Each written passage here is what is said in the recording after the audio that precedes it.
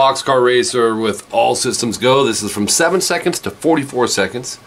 CVT guitar lesson for James. So um, standard tuning in this. It's uh, power chords on the intro uh, with the octave and one of the chords is actually a full chord you'll see. So we're starting with string 6, 5 and then we're going to just do our power chord 7 and 7. So you can use three fingers. You can bar with this or bar with this. It's three times which might be part of the reason this gave you trouble. It's not a lot of fours going on here. The next one, move it back a fret, but drop the pinky or third finger down and you got to cover 666. So you have 4, 4, so that's barred, and this is barred. It's like a double bar. And that's three times. Then you can uh, bring this back up to 466 three times. Move it up a half step to 577 three times.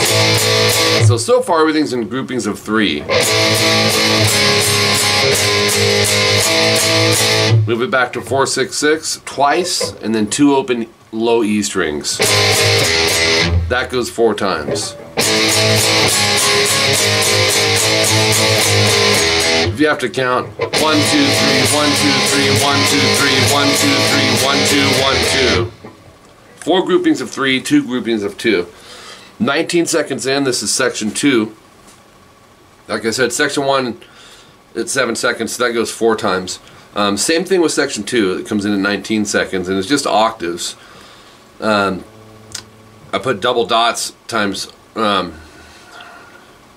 supposed to be three three times on the double dots, but check it out. It's 5E, muted A, 7D. Now I'd try to mute the G string as well, in case I accidentally hit it, but you should only hear string 6 and 4. So, you're gonna go strum that. 1, 2, 3, 4, 1, 2, 3, 4, 1, 2, 3, 4, and then three more times. So, three groupings of four, and then strum it three more times. So that's 12, 13, 14, 15 times. But sometimes if you have to count, try to see where you can mathematically make it make sense. All right? Which I have to fix your tabs. I put four times on your double dots. It's not four, it's three times. Um, from there, no pausing up to 9 mute 11 and that once you get there that is done six times no that's actually done seven times so one two three four one two three open E that's probably the hardest part to count octave F sharp it's 2E muted A 4D this goes five times Move it up a whole step sharp to 4 6 and go four times. So 1, 2, 3, 4, 5, 1, 2, 3, 4. If you have to subgroup them like that, 5 and 4. Or so.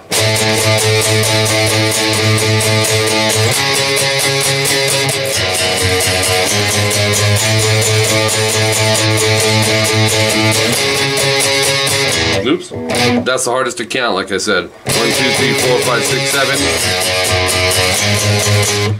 Alright, so that's your, your parts.